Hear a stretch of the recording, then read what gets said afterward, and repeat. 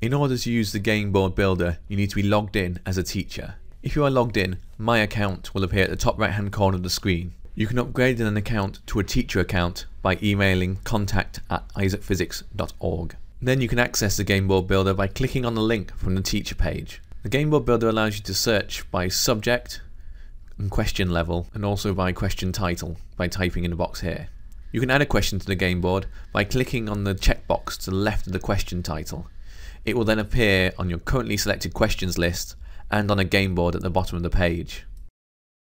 You can also search by topic by typing the topic name into this box. Selecting 10 questions will complete a game board, as you can see here. If you try to add an 11th question, a warning will pop up at the top of the screen and you will be unable to do this. To remove a question from the game board, unselect the checkbox either in the search results or in the currently selected questions list. You can then add another question in order to complete the game board. To save your completed game board, you need to give it a title by typing into the box here. There's also a box here for entering a unique ID for the URL of the game board. However, you can just leave this blank and the system will generate a URL for you.